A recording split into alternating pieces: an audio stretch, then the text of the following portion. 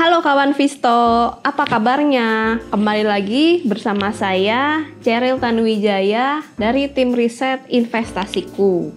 Pada kesempatan hari ini, kita akan review emiten. Emiten kali ini datang dari produsen emas atau logam kuning yang sangat terkenal akhir-akhir ini di berita. Oke, nah kawan Visto, sebelumnya kita ulas dulu ya bagaimana kinerja harga emas di sepanjang tahun 2024. Secara year to date, harga emas naik 28%. Ini data hingga 14 Oktober 2024. Di tahun ini pula, harga emas mencetak rekor tertinggi di level 2685 US dollar per troy ounce. Nah, di bawah kanan ini ada berita dari Detik Finance yang menunjukkan harga emas kembali rekor tertinggi. Ini berita tanggal 12 Oktober 2024. Jadi masih hangat ya beritanya. Ini teman-teman bisa baca lebih lanjut beritanya.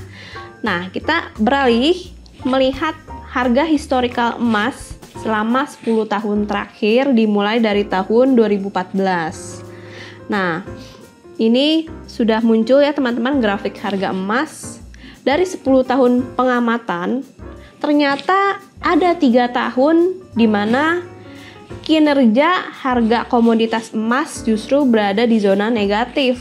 Jadi, investasi emas tidak selalu setiap tahun positif ya teman-teman dari data tersebut. Lalu sejak tahun 2014 hingga 2024 ini CAGR harga emas ada di level 8,3 persen. Ya, lalu juga di tahun 2024 ini tadi kita sudah bahas year to date menguat 28 persen. Nah ini berpotensi kenaikan harga emas di tahun 2024 ini menjadi yang paling berkilau selama 10 tahun terakhir. Apalagi ini ada berita juga bahwa institusi Goldman Sachs merevisi naik target pertumbuhan harga emas ke level 2.900 US dollar per troy ounce hingga akhir 2024. Berarti dengan harga sekarang yang masih 2.600-an US dollar per troy ounce, masih ada ruang kenaikan lebih lanjut lagi ya, kawan Visto. Nah, kawan Visto kira-kira penasaran nggak sih apa ya yang membuat harga si logam kuning ini tuh naik terus di tahun 2024 ini? Boleh komen ya, apa alasannya? Oke, yang pertama, karena di tahun 2024 ini tren suku bunga acuan berbagai bank sentral sudah mulai turun ya. Khususnya Bank Sentral Amerika atau The Fed. Nah, kita lihat efeknya ini membuat US dollar melemah ya. Opportunity cost turun sehingga banyak investor lebih memilih menyimpan emas dibandingkan um, investasi di bond maupun deposito ya yang terpengaruh suku bunga. Yang kedua, emas ini kan tergolong safe haven ya teman-teman. Jadi yang paling diandalkan di antara instrumen investasi lainnya dikala ketegangan tinggi di tengah volatilitas kekhawatiran tinggi. Nah, ini terpengaruh dari konflik geopolitik di Timur Tengah yang terus memanas di tahun 2024 ini ya. Lalu yang ketiga, permintaan dari berbagai bank sentral ini juga meningkat ya kawan Visto. Berdasarkan survei dari World Gold Council pada 18 Juni 2024, Berbagai bank sentral berencana kembali meningkatkan cadangan emasnya dalam 12 bulan ke depan. Oke. Nah, kawan Visto, kita mau membandingkan nih berikutnya. Bagaimana kinerja harga komoditas emas si logam mulia dengan saham produsen emas, ya. Nah, Yang pertama, kita bandingkan sama emiten emas yaitu ada MDKA. MDKA secara year to date melemah 5%. Lalu ada juga Antam melemah 10%. Lalu ada lagi emiten Archie, BRMS. Nah, ini dia berba, ber, ber, berbeda arah ya. Archie melemah 27%, sedangkan BRMS menguat 60%. Oke. Nah, kawan Visto, MDKA dan Antam merupakan dua emiten produsen emas yang tergabung di indeks LQ45. Nah, kita cek kapitalisasi pasar keduanya ya. Nah, MDKA punya kapitalisasi pasar yang jauh lebih besar dibandingkan Antam, yaitu sebesar 62,41 triliun rupiah. Sedangkan Antam hanya 39,17 triliun rupiah. Jadi pada kesempatan kali ini kita akan mengulas lebih lanjut emiten MDKA. Setuju? Lanjut. Nah, kawan Visto, kita akan berkenalan lebih lanjut sama emiten yang bernama PT Merdeka Copper Gold atau MDKA kode emitennya. Nah, sebelumnya kita perlu tahu dulu nih struktur kepemilikan MDKA per 30 September 2024 ya. Nah, memang mayoritas dimiliki oleh publik nih sebesar 63,77 persen. Ayo, siapa di sini yang juga punya MDKA? Boleh absen ya di komen. Nah, lalu kita lihat ada juga Saratoga Investama Sedaya TBK. Um, ini menguasai kepemilikan MDKA sebesar 18,85 persen. Lalu ada juga PT Suwarna Arta Mandiri ini 5,5% dan PT Mitra Daya Mustika 11,88%. Nah, tiga emiten tiga perusahaan tersebut ya merupakan uh, mayoritas kepemilikan di MDKA dengan kepemilikan lebih dari 5%. Oke. Nah, teman-teman, dari sini kita juga melihat setelah MDKA, MDKA ini juga punya beberapa anak usaha ya. Salah satu yang paling kita tahu adalah Merdeka Battery Materials atau MBMA. Kepemilikan MDKA di MBMA ini sebesar 50%, cukup besar ya kawan Visto. Nah, kita juga lihat lebih lanjut lagi kawan Visto, MDKA ini kita tahu berdiri sejak tahun 2012 ya. Sebelumnya namanya tuh bukan Merdeka Copper Gold, melainkan PT Merdeka Serasi Jaya. Awal mulanya perusahaan ini merupakan perusahaan pertambangan emas. Lalu seiring perkembangan bisnis, menjelajah lebih banyak mineral seperti tembaga, lalu berbagai logam industri seperti nikel, ya. Oke, lalu pada tahun 2014 berubah menjadi namanya PT Merdeka Copper Gold dan di tahun 2015 MDKA ini listing di bursa saham kita sampai saat ini. Oh iya, harganya saat itu waktu pertama kali listing berada di level 2000 per lembar saham. Nah, kita juga akan bedah lebih lanjut nih, kawan Pisto. Bagaimana revenue MDKA di semester 1 2024 ini. Jadi kita lihat memang kontributornya si MDKA nih paling besar dari komoditas tembaga ya, kawan Visto ya. Kita lihat uh, setelah tembaga ada nikel ya. Ada juga uh, eh, NPI itu nickel pig iron ya kawan Visto. Lalu HGNM ini adalah high grade nickel matte ya kawan Visto. Selain itu ada juga tembaga, emas dan limonite yang diproduksi sama MDKA.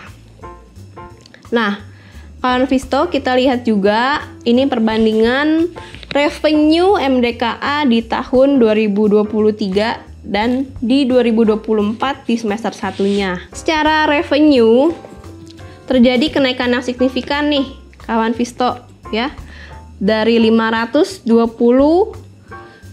ke 520 ribu US dollar ya ke 1,93 juta US dollar. Kenaikannya signifikan ya dengan kontribusi revenue paling signifikan sebesar 84% datang dari nickel pig iron, uh, high grade nickel matte dan limonite ya. Oke. Lalu kita cermati biaya produksinya ya. Oke, um, di sini didapatkan gross profit yang juga meningkat ya, karena revenue-nya kan meningkat ya kawan Visto. Tapi di sisi lain kita lihat sebenarnya cost of revenue ini juga naik signifikan ya, dua kali lipat lebih ya. Rahasianya apa kenaikan biaya ini? Jadi kenaikan produksi NPI dan HGNM ya yang signifikan sehingga membutuhkan cost yang lebih, cost untuk um, pertambangan ya. Lalu kita lihat juga ini um, secara profit margin ada terjadi penurunan nih kawan Visto di semester 1 2024 ya. Dari 8,9% menjadi hanya 8,1%. Oke. Tapi kita lihat di sini biaya GE ini relatif turun ya, stabil. Sehingga laba operasional ini naik signifikan. Lalu profit margin, operating profit margin juga naik ya, cukup signifikan marginnya. Dari yang sebelumnya 3,5% menjadi 5,7%. Nah, di sini ada kenaikan finance expense atau biaya keuangan nih kawan Visto dari 39,7 ke 47,2 ya. Ini disebabkan oleh kenaikan suku bunga sehingga MDKA yang memiliki hutang bunganya turut ikut meningkat ya. Lalu juga hal, dana ini digunakan untuk ekspansi perusahaan. Oke. Lalu kita lihat di sisi lain MDKA mengalami peningkatan income lain-lain ya. Kalau di tahun lalu biaya lain-lain sebesar 30,2 ya. Sekarang berbalik positif, jadi pemasukan lain-lain. Pemasukan lain-lainnya ini datang dari selisih keuntungan nilai tukar ya, dari penyesuaian nilai investasi dan juga dari pendapatan sewa dalam bentuk mata uang lain. Oke. Sehingga laba bersih MDKA positif di tahun 2024 ini. Berbalik dari posisi tahun lalu yang rugi ya, kawan Visto. Di sisi lain, net profit margin memang masih relatif kecil ya, di 1,9%, tapi kita lihat ini ada pertumbuhan, ada perkembangan yang baik dari bisnis MDKA. Oke, kita beralih intip cash flow-nya MDKA ya. Karena dari bagian-bagian laporan keuangan, cash flow ini bagian yang paling inti sehingga tidak boleh dilewatkan. Nah, ini sudah muncul ya kawan Visto cash flow MDKA di semester 1 2024 ya. Nah, jadi kita lihat kawan Visto ada uh, arus kas dari aktivitas operasional sebesar 104 juta US dollar. Termasuk 92 juta di antaranya ini digunakan untuk penggunaan modal kerja. Lalu ada arus kas investasi yang terpakai sebesar 140 juta, 174 juta US dollar. Dan ada cash flow from uh, financing ya atau arus kas permodalan. Ini terpakai 4 juta US dollar. Sehingga um, cashnya total cash ada sebesar 351 juta US dollar di semester 1 2024 Nah, sampailah ke valuasi MDKA di berdasarkan data semester 1 2024 ya.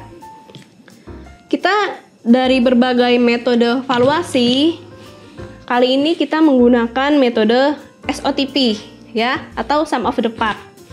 Karena kita lihat MDKA ini punya beberapa unit usaha sehingga kita perlu breakdown satu persatu. Nah, kita lihat ada beberapa proyek MDKA yang berkontribusi besar pada revenue dan pendapatan MDKA. Ada tujuh bukit Gold Wetar, tujuh bukit Porphyry, ada Pani dan ada MBMA anak usaha MDKA yang terkonsentrasi di bisnis nikel. Ya. Kita sudah hitung berapa sih nilai perusahaan dengan menghitung uh, nilai dari proyek-proyek tersebut, lalu dikurangi hutang yang dimiliki MDKA hingga akhir tahun 2024. Ini proyeksi kami ya, kawan Visto. Disclaimer dulu ya, kawan Visto. Kita peringati kalau yang kita sampaikan hari ini adalah bentuk dari edukasi, bukan ajakan jual maupun ajakan beli. Oke, kita lanjut. Nah, kawan Visto, dari sini kita lihat nilai perusahaan MDKA setelah dipotong hutang didapatkan enterprise value 4840 ini dalam satuan US dollar. Nah, dengan nilai kurs kurs tengah Bank Indonesia hari ini di 15.500 per 1 US dollar. Lalu dibagi dengan saham beredar MDKA sebanyak 24,47 miliar saham maka didapatlah harga MDKA harga wajar MDKA per lembar sebesar Rp3.050 per lembar saham. Nah, menariknya lagi nih kawan Visto, Berdasarkan data Bloomberg Terminal, sejak awal September 2024 ada beberapa investor kakap yang masuk nih, yaitu BlackRock.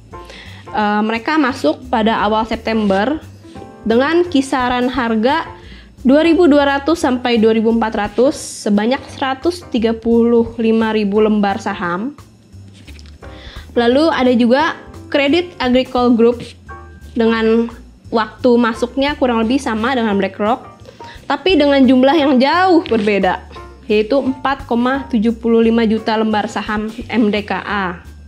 Oke, nah kawan Visto, nah kita sudah simpulkan nih positif dan negatifnya apa aja sih dari kinerja MDKA di semester 1 2024 berimbang ya kawan Visto ada tiga positif dan tiga negatif. Yang positif, nah dimulainya tren pemangkasan suku bunga di tahun 2024 ini masih berpotensi meningkatkan permintaan logam industri seperti nikel dan teman-temannya dan mineral-mineral lain ya kawan Visto. Lalu kita juga tahu yang kedua, China, pemerintah China tepatnya proaktif untuk terus menerbitkan berbagai stimulus jumbo untuk mendorong pemulihan ekonominya khususnya di sektor properti. Sektor properti kita tahu sektor yang membutuhkan banyak logam industri. Lalu yang ketiga, harga komoditas emas masih berpotensi lanjut menguat. Kita juga tahu MDKA didukung 10% pendapatan dari penjualan komoditas emas. Lalu kontranya nih kawan Visto. Yang pertama, jika terjadi penundaan pada proyek AIM dan HPAL dari MBMA, ini akan mengganggu kinerja MDKA. Lalu yang kedua, permintaan logam industri bisa jadi lebih rendah daripada perkiraan nih jika ternyata stimulus dari China tidak berhasil mendorong perekonomian di uh, negeri tirai bambu tersebut. Yang ketiga, yang bisa menjadi resiko juga yaitu perubahan kebijakan suku bunga The Fed. Kita tahu The Fed terlihat cukup optimis untuk terus memangkas suku bunga di sisa tahun 2024 ini. Tapi jika harga minyak, harga komoditas energi terus meningkat sehingga tren disinflasinya terhambat, nah ini bisa membuat The Fed berubah pikiran nih, gitu. Oke, kawan Visto, kita sudah berada di akhir pembahasan emiten kali ini. Semoga pembahasan tersebut bermanfaat dan menambah wawasan kawan Visto yang menonton video ini. Dan pastinya kita ketemu lagi ya di video emiten review berikutnya. See you!